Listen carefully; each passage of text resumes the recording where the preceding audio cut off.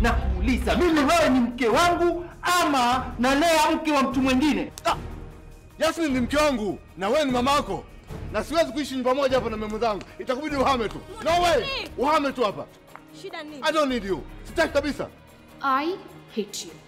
Kama unadhani una ujanja machoni, basi kawapelekea wale vinyangariko umezoea wa huko kwenyu Tanzania. Hapo umeingia chuo cha kike.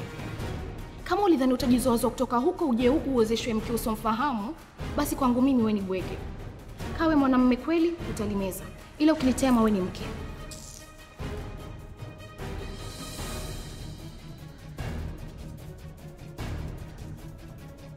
Talimeza kwa sababu mimi.